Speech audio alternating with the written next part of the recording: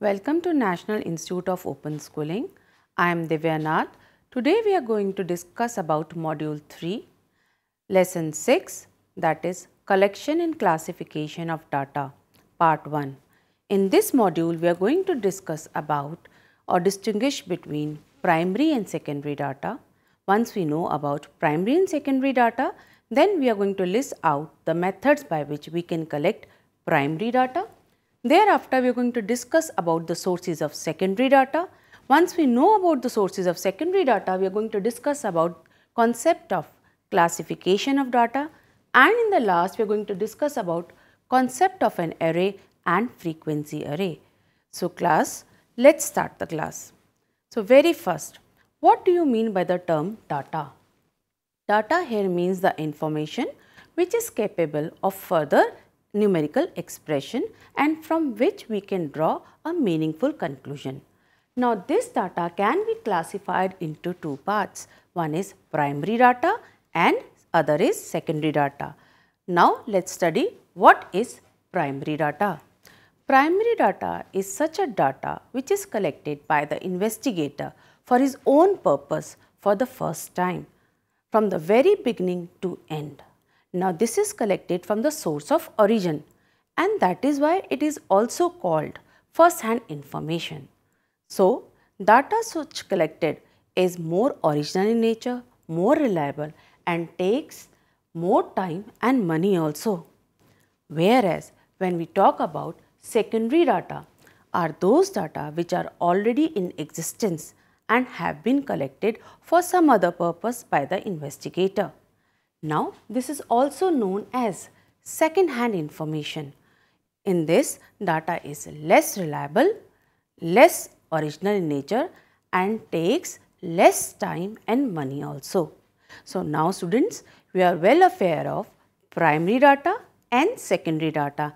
Now, we can distinguish between the two concepts on the basis of originality. Now, when we talk about originality, primary data are more original in nature than the secondary data. Why is it so?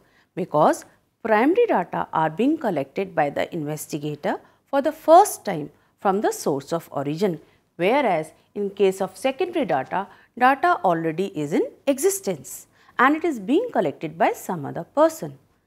Next, on the basis of suitability of objectives. Now, in case of primary data, it is being collected for the investigator for the first time for his own purpose. So, it is being framed for the specific objective. Whereas, in case of secondary data, some other objective or others information given by the investigator is being used for his purpose. Now, we are going to use it. So, it is less objectivity is there for the investigator this time. On the other hand, when we talk about cost of collection, primary data incurs huge cost of collection. So, primary data is costlier as compared to secondary data in terms of time, money and efforts. Now, once we know the difference between primary and secondary data, we are able to discuss about the methods from which we can collect primary data. There are three methods to collect primary data. Very first is direct personal investigation, second is indirect oral investigation and the third is information through questionnaires and schedules. Now, let us discuss each one of them in detail. So, let us talk about direct personal investigation. It is the method in which the investigator collects the information directly from the informant. Now, the question comes when we should adopt such a method. Now, we should adopt such a method in the following cases. Very first, when the field of investigation is limited. Second, a greater degree of originality, accuracy and reliability is required. Third, information is to be kept secret. Fourth, accuracy of data is given of great importance. Next, when direct contact with the informant is required. So, in all such cases, we need to collect primary data by direct oral investigation. Now, the second method that is indirect oral investigation. Under this method, the information is obtained by the investigator from the not from the person from where we need information but from some other person who possesses such information. Now in this what happens why we need such kind of information and why we do not want to contact to the informant. The reasons are the field of investigation is too large. Second, it is not possible to have a direct contact with the informant. Third, the concerned informant is not capable of giving information. He may be illiterate or some other reason is there. Next, the investigation is so complex in nature that only experts can give information. So, students, in all the cases, we need to collect information through indirect oral investigation. Now, the third method that is information through questionnaires and schedule. Under this method, the investigator prepares a questionnaire. Now, investigator can collect this questionnaire by two ways. As we can see, the first method is enumerator method and the second is mailing method. Now, let us discuss them in detail. Now, very first we will talk about mailing method. Under mailing method, the investigator prepares a questionnaire and gives it or mail it to the respondent. Now, the respondent or the informants fill up these questionnaires. Once they fill up and complete it, then they again give it to the investigator. Now, this was known as mailing method. Now, in case of enumerators method, under this method, what happens? The enumerator prepares the questionnaires and takes these questionnaires to the informant. Now, he asks the questions to the informants and fill up the information. Such questionnaires are known as schedules. So, students we know about there are two methods of collecting questionnaire. One is mailing method, other is enumerator methods. So, now we know the methods to collect primary data. After this, we can discuss about what are the methods or out of which method we should adopt when the area of investigation is too large. When the area of investigation is too large, we should always collect the primary data from information through questionnaires and schedules. Now students, we are going to discuss about what are the benefits of collecting primary data. The very first benefit is high degree of originality. Second benefit is fairly accurate data. Third is we are going to get a very reliable data. So, these were the benefits of collecting primary data. Now, let us discuss about the demerits of collecting primary data. Very first, we cannot collect primary data where the investigation is very large or the field is too large. On the other hand, when we talk about in terms of cost, collection of primary data is too costly.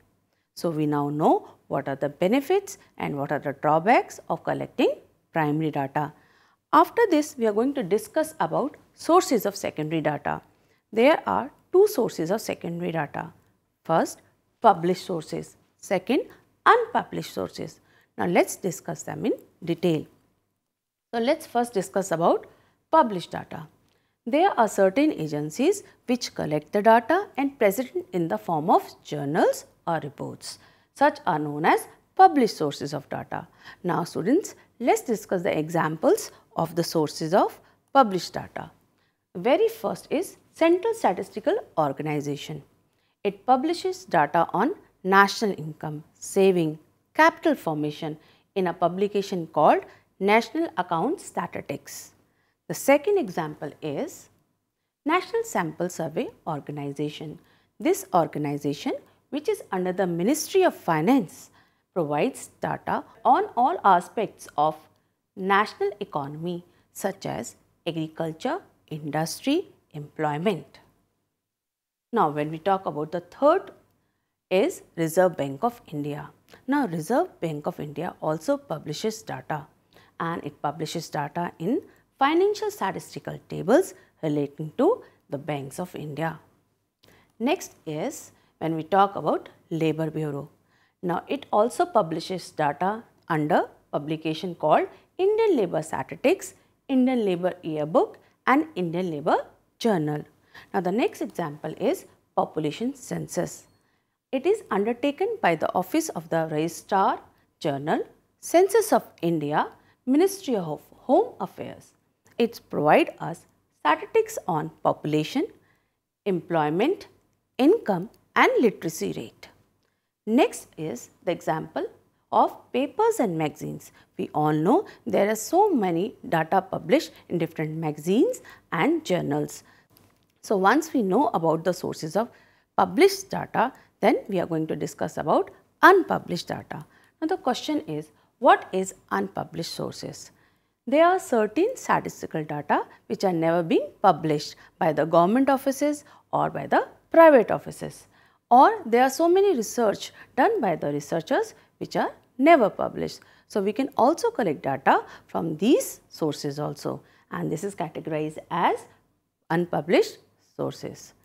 Once we know about the sources of data, secondary data, we can also discuss about classification of data. Now, we have collected the data, right, from the primary data and when we talk about secondary data. Now, once the data is being collected, if it is not organized, we cannot use it. So, we need to arrange it. That is, classification of data is required. Now, what is classification of data? Classification is the process of arranging figures in such a form that comparison of the mass of similar data may be facilitated and further analysis may be possible. So, classification of data is must then only we are able to use data collected by primary way or by the secondary way. Now, once we have done the classification of data, we can discuss about forms of arrangement of data. How we can arrange the data? The data can be arranged in two different ways. Very first array and the second is frequency distribution. Now, what is an array? When we talk about an array, an orderly arrangement of raw data is known as array. Now, array can be discussed as we can see in two ways simple array and frequency array. Now, what is a simple array? Simple array when we talk about is an arrangement of data either in ascending order or descending order. So, we are telling you either we can arrange the data in ascending order or descending order. So, let us take an example to understand how we are able to construct simple array. So, this is the question students.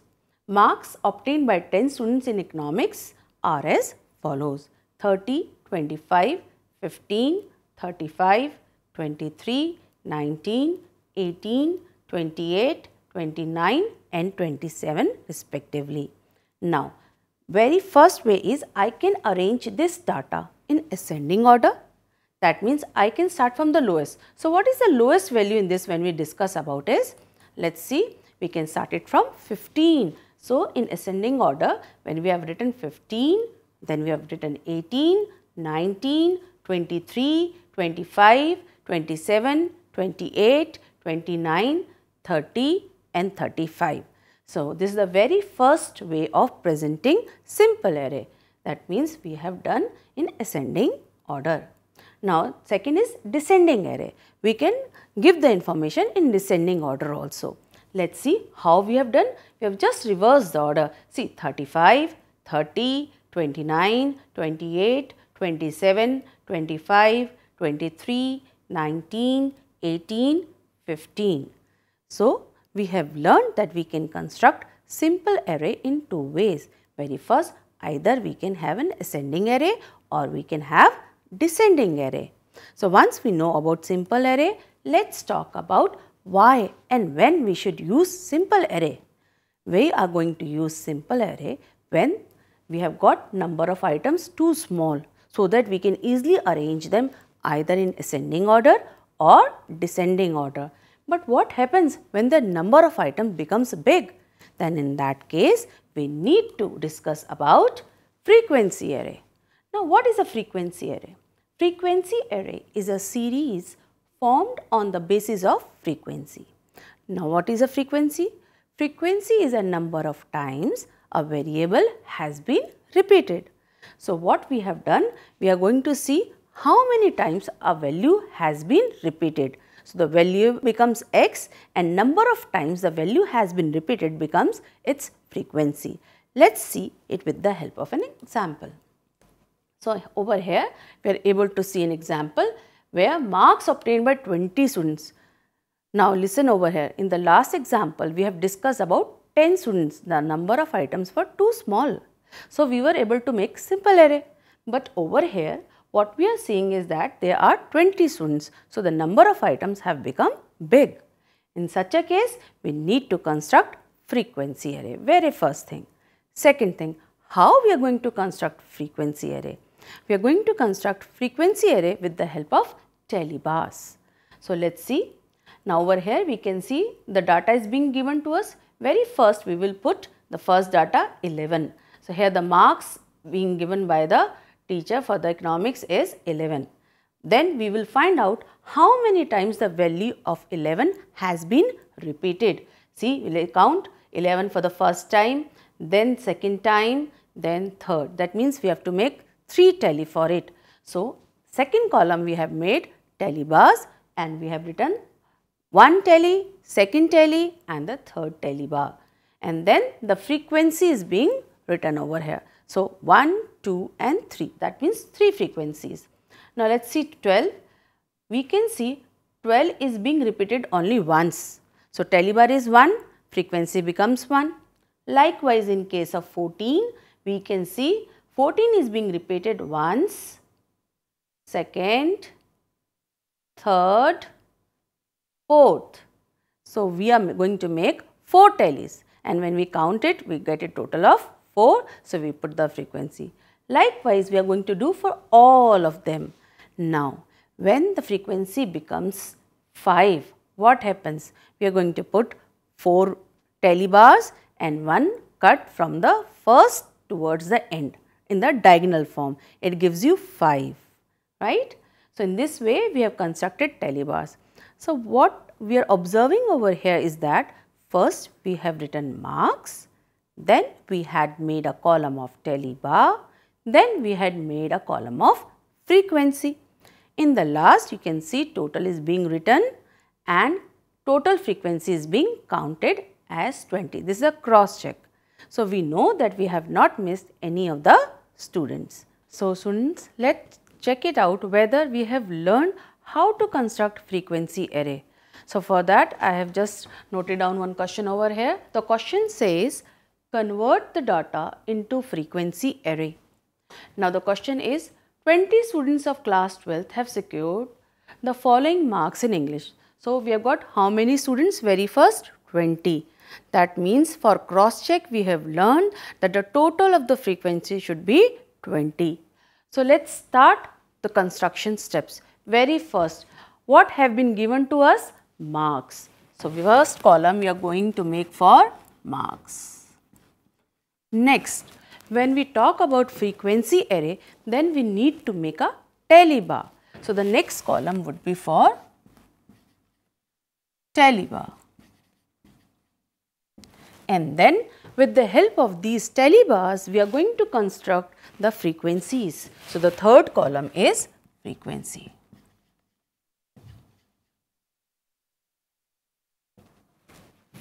And here we can write total also. So, we have made three columns. The very first marks, tally bars and frequency. Now, let us see how we are going to construct frequency array. Let us see the very first variable is 10. Now, we are going to see how many tallies for 10 we can get. Let us count 1, 2, 3, 4, 5, 6. So, I have told you how to construct a tally bar. 1, 2, 3, 4 and this is 5 and this is 6. So, over here we have written 6 frequency. So, for the first variable we have done. Now, the second variable is 11, 11 marks. Now, let us see how many times this value has been repeated. Let us count 1, only once. So, 1 tally and we get frequency of 1. Now 10, 11 then we can see 12. Let's write the marks 12 and cross check how many times this value has been repeated. So, once,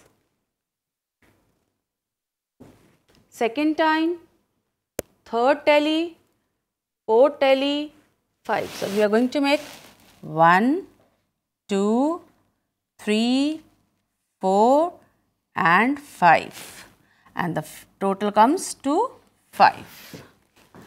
Next, let us look for the next value 13. Is it there in the data?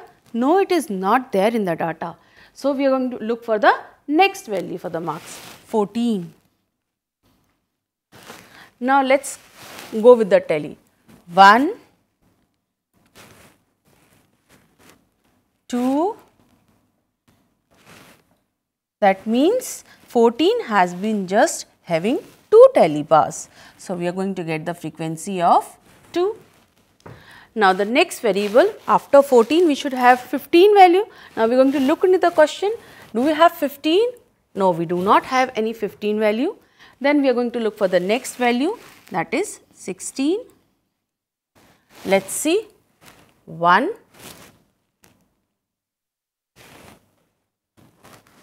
only 1. So, we have got a frequency of 1. Then we can look for the next value that is 17. Let us see 1,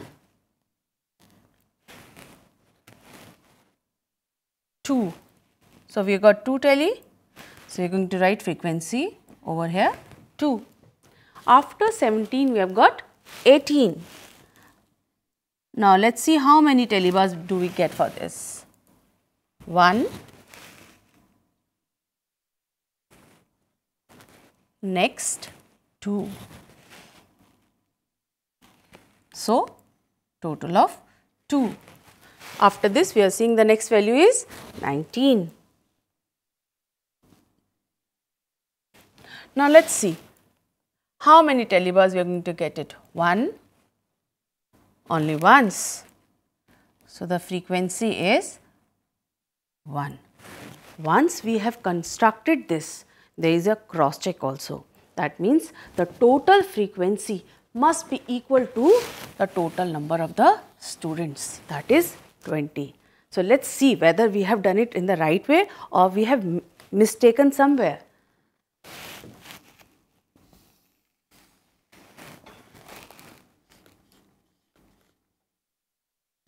Let us total it out 6, 7, 7 plus 5, 12, 14, 15, 16, 17, 18, 19 and 20. That means we have not missed any variable, any value over here.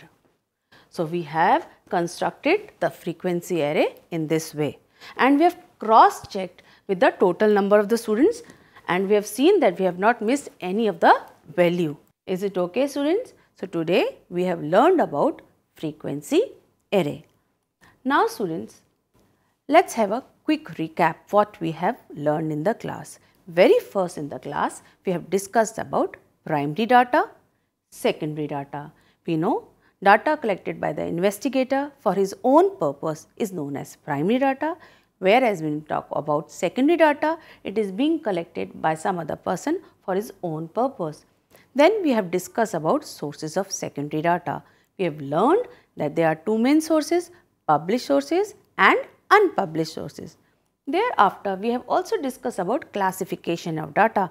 Now we know why do we want to classify data? What is the need of classification of data?